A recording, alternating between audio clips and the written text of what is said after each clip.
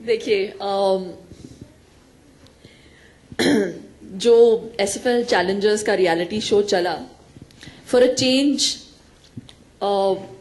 it was doing something good it was in just entertainment ये एक ऐसा platform दिया गया है फाइटरों को uh, जो एक करियर बनाना चाहते हैं कुछ सीखना चाहते हैं आगे बढ़ना चाहते हैं उन लोगों के लिए बहुत ही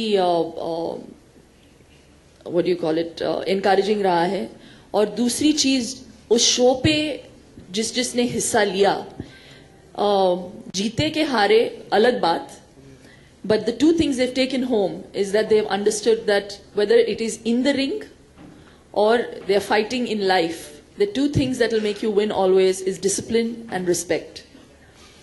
So that's a very famous line from our CEO, Daniel, who always says that आप यहाँ पे और कुछ सीखेंगे कि नहीं?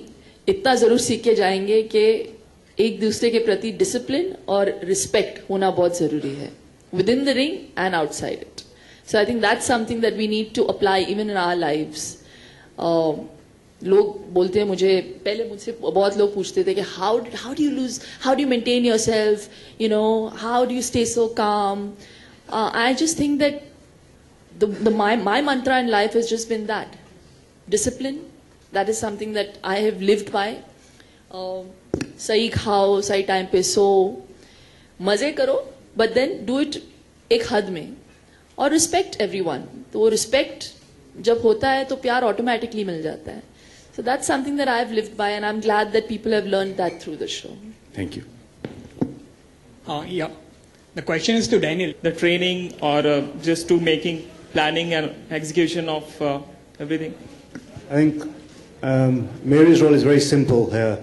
She is the mentor to the female fighters and inspiration for the male fighters that you too can become something. She will be part of the selection process. She has recommended us two, three names already that are potentials for our Super Fight League.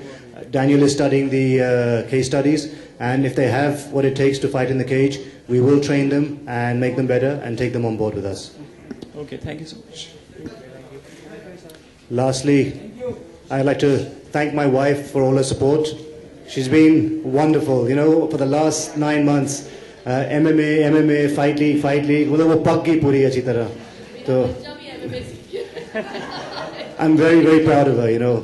She's done so much for the country. She's got recognized. She did a reality show. She married an NRI. And then she bought a cricket team. And now she has Super Fight League. Thank you.